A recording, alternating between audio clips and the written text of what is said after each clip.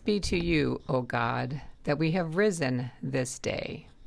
To the rising of this life itself, Be the purpose of God between us and each purpose, the hand of God between us and each hand, the pain of Christ between us and each pain. the love of Christ between us and each love. O God, who brought us to the bright light of this new day, Bring us to the guiding light of eternity.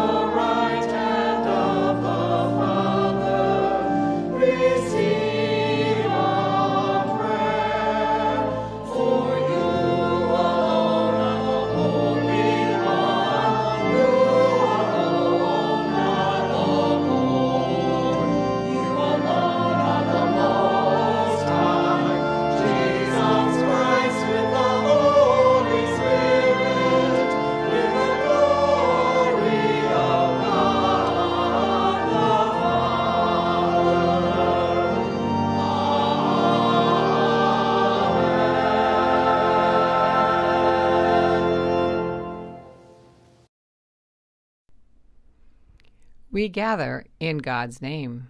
We claim Christ's promised presence. Let us pray.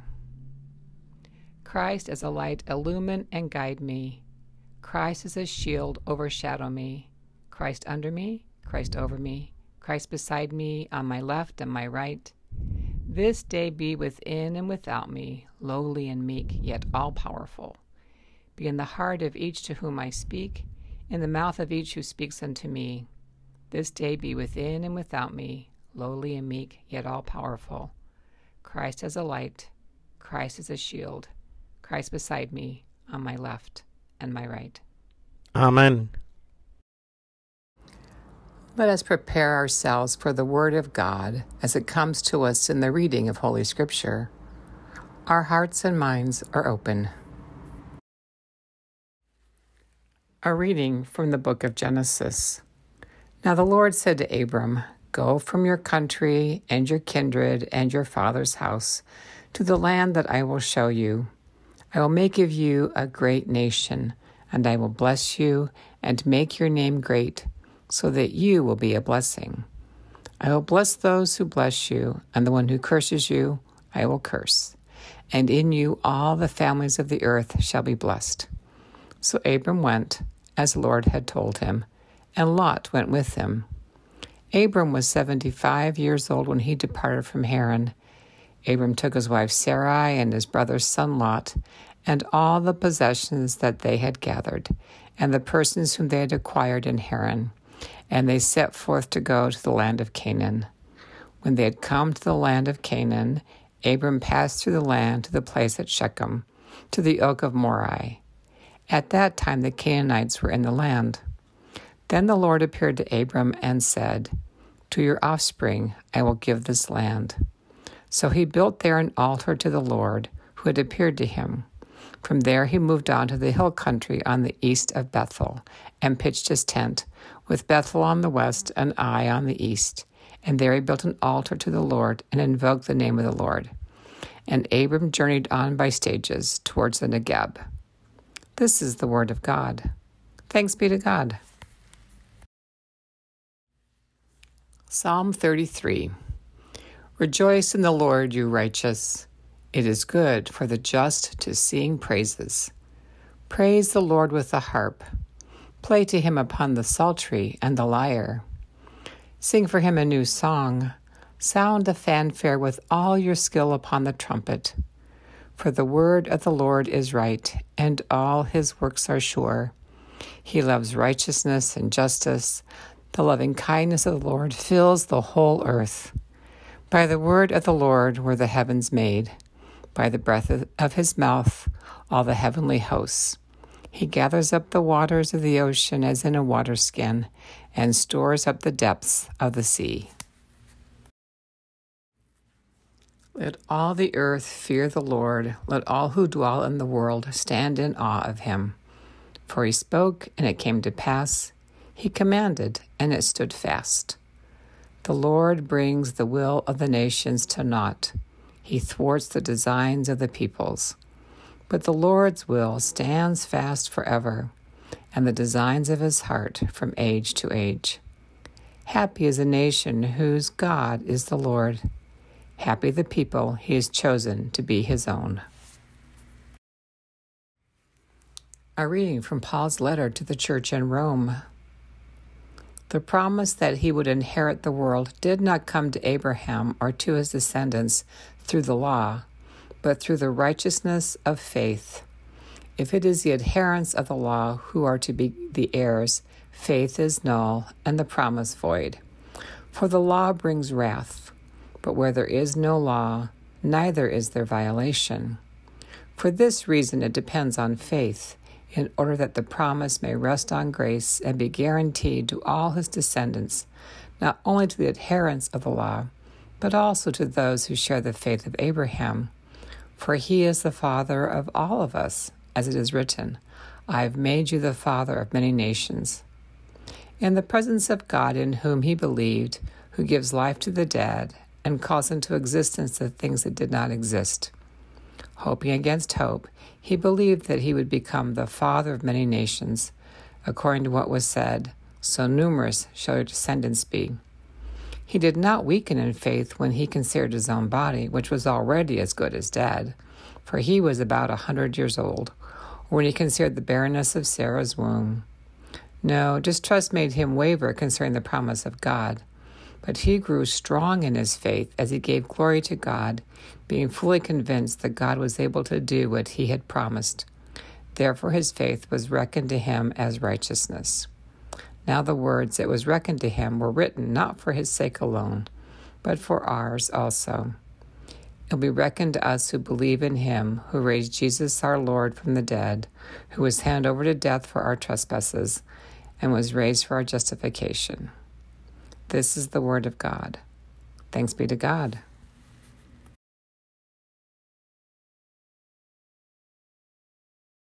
Spirit of the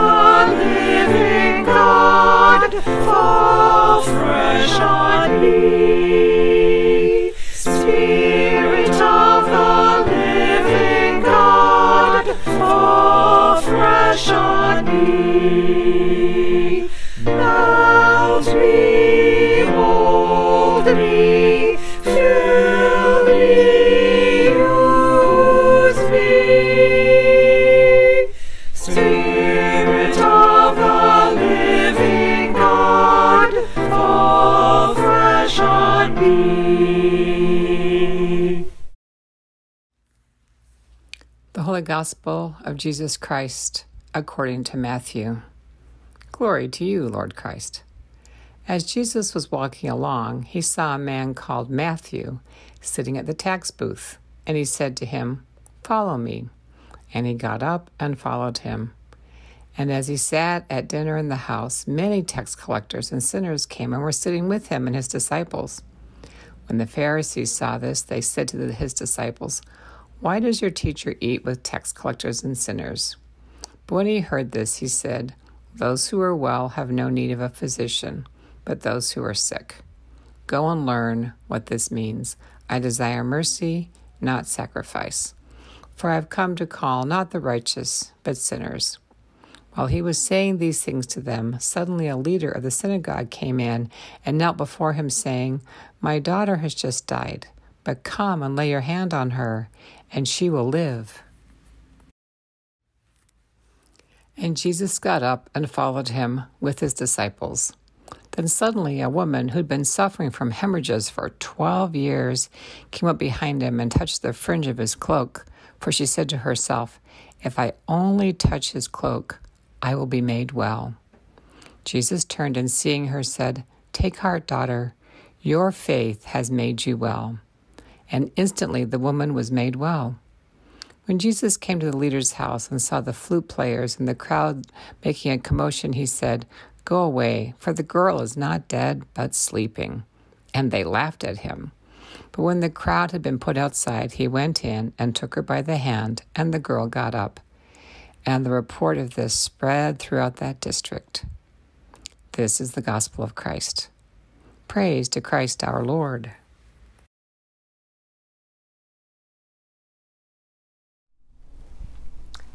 Last summer, I traveled by myself to Scotland.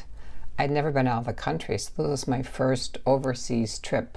I went by myself, and for two weeks I learned to navigate planes and airports, buses and bus stations, trains and train stations across Scotland and London. I was supposed to go to Ireland for an eight day retreat as well, but I contracted COVID and had to spend five extra days in a hotel in Glasgow. And then I had to figure out what to do for almost a week until I was to meet my husband in Paris. So I decided to travel from Glasgow north and west to the island of Iona. Iona is one of those mystical, thin places that Christians speak of. A thin place is where God can be felt more readily than other places. Iona is a small island off the west coast of Scotland. To get to Iona from Glasgow, one has to take a four hour train ride from Glasgow to Oban. The train travels through some of the most beautiful land one can imagine, and Oban is home to a famous whiskey brewery, that is, if you like peat smoked whiskey.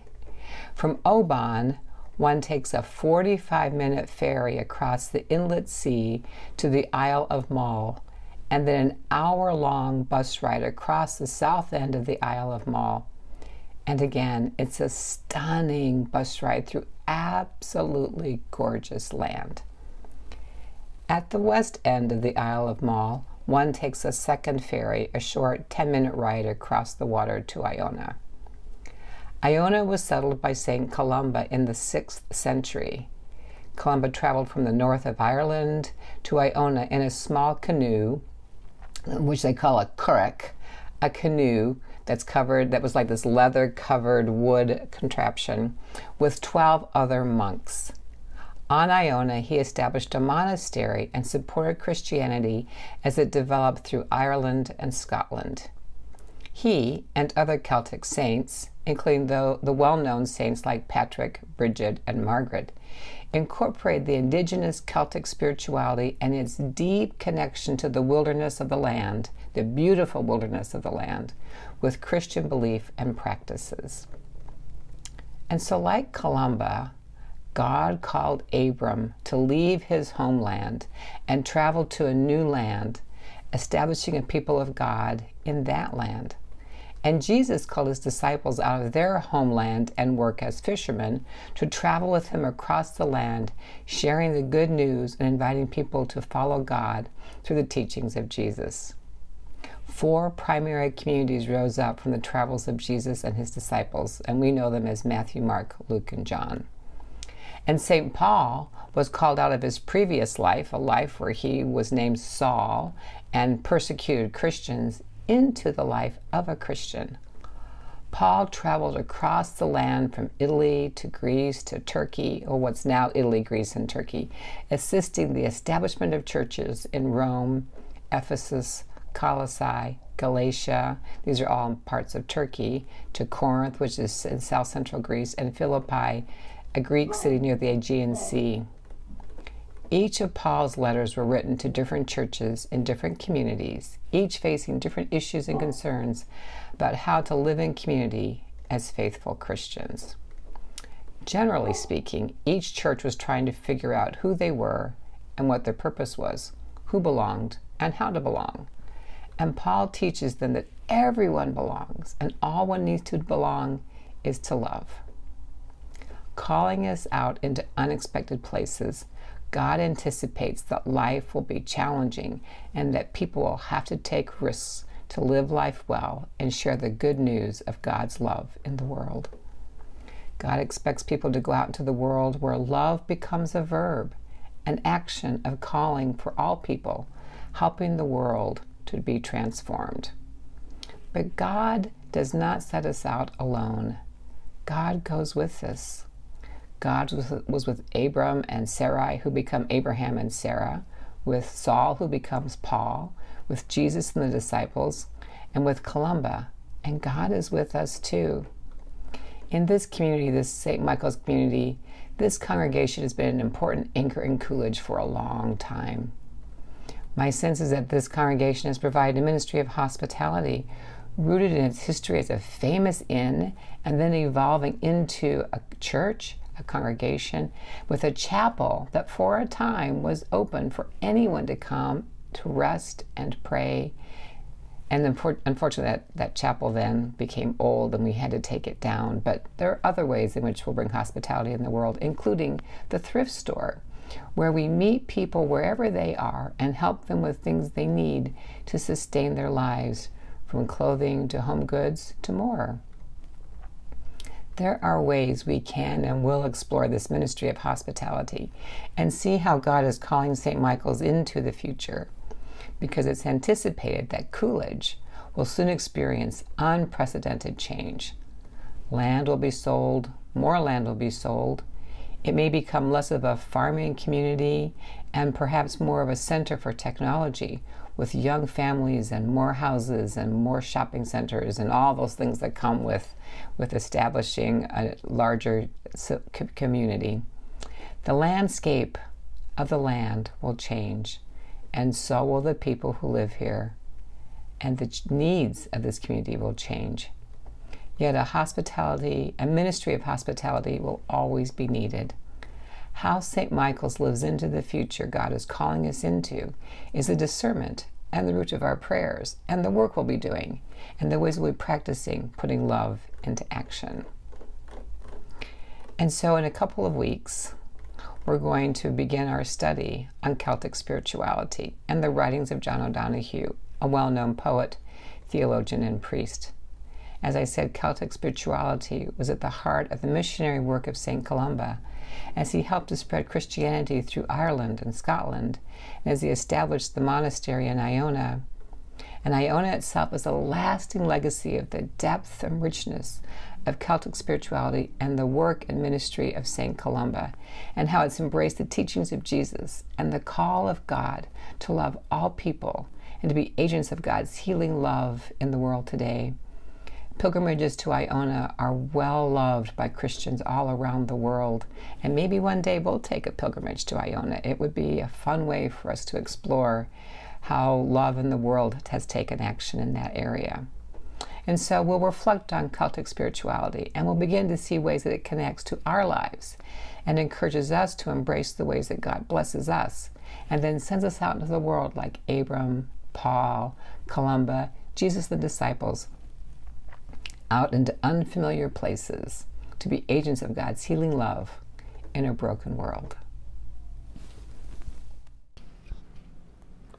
Let us say together this affirmation of our faith. We believe in God above us, maker and sustainer of all life, of sun and moon, of water and earth, of male and female, and the beautiful diverse variables between and within. We believe in God beside us, Jesus Christ, the Word made flesh, born of a woman, servant of the poor, tortured and nailed to a tree. As a man of sorrows, he died forsaken. He descended into the earth, to the place of death on the third day he rose from the tomb. He ascended into heaven to be present everywhere, and God's kingdom will come to earth. We believe in God within us, the Holy Spirit of Pentecost fire, life giving breath of the Church, source of resurrection and eternal life. Amen. Spirit of fire, inflame in us a passion for justice and equality. That we may know the cleansing of our prejudice and fears and proclaim your freedom boldly, caressing your earth with humility. Spirit of compassion, infuse us with your longings for wholeness and happiness. That we may reach out to those who are hurting and disordered, enfolding on another with your love and tenderness. Spirit of wisdom, be within us in our journeying, gently guide us along right paths. That we may be led towards transformation and new beginnings in our world. Spirit of gentleness, touch us anew, releasing in us all that we are afraid of. That we may know your acceptance of us and freely accept and embrace others. Spirit of power, we pray especially for those who are sick and suffering. Please add your own petitions. Hold us in our powerlessness.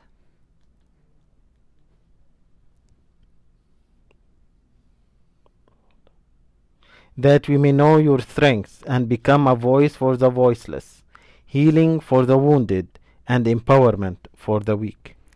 Spirit of judgment, be tender with us and show us your mercy. That we may humbly re- learn of you and not be afraid of your prophets in the world.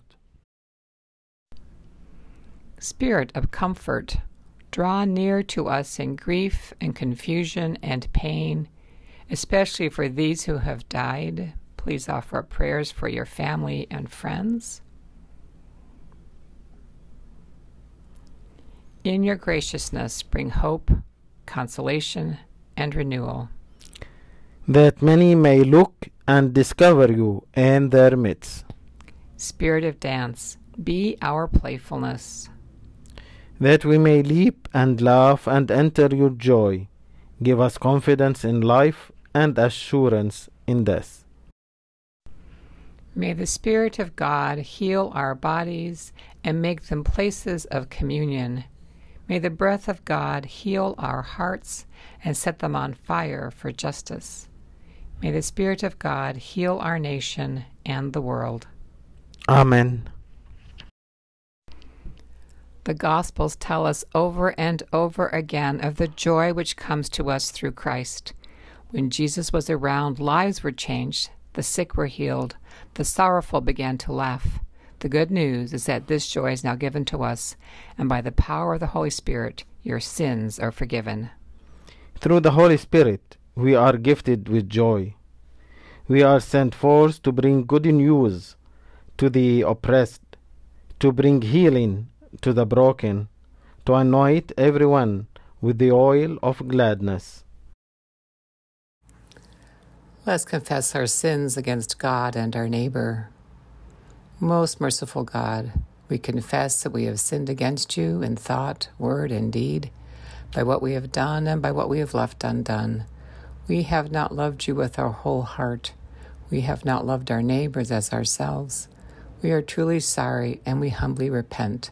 For the sake of your Son, Jesus Christ, have mercy on us and forgive us, that we may delight in your will and walk in your ways to the glory of your name. Amen. Almighty God, have mercy on you, forgive you all your sins through our Lord Jesus Christ, strengthen you in all goodness, and by the power of the Holy Spirit, keep you in eternal life. Amen. The peace of the Lord be always with you. And also with you. Take, eat, this is my body. By Paul Simmons.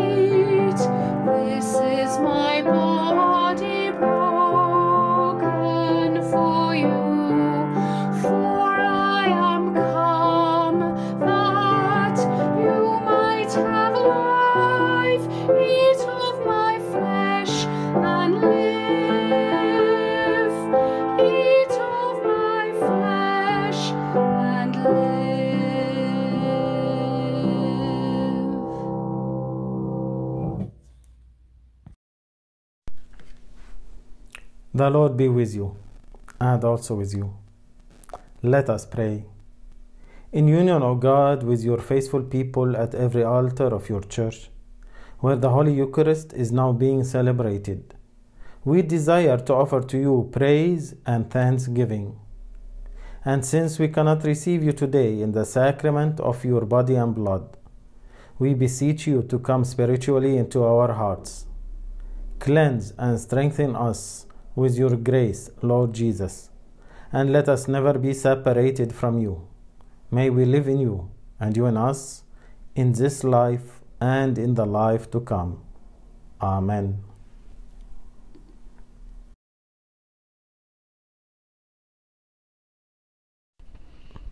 As our Savior Christ has taught us, we are bold to say, Our Father in heaven, hallowed be your name. Your kingdom come, your will be done, on earth as in heaven. Give us today our daily bread. Forgive us our sins as we forgive those who sin against us. Save us from the time of trial, and deliver us from evil. For the kingdom, the power, and the glory are yours, now and forever. Amen.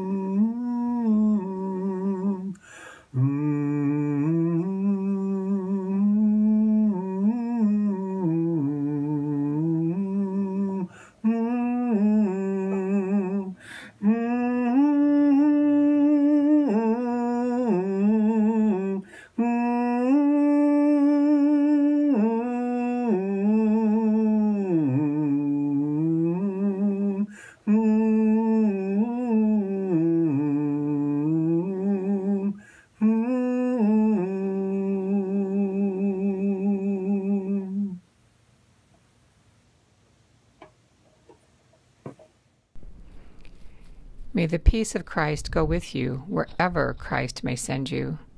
May this divine one guide you through the wilderness and protect you through the storm. May this Holy One enliven you with all that you've been shown. May this gracious one bring you home, rejoicing once again into our doors. In the name of God, the Creator, Jesus who redeems us, and the Holy Spirit who sanctifies us. Amen. Let us go into the world rejoicing. It is Christ who goes before us. Thanks be to God. Amen. Amen.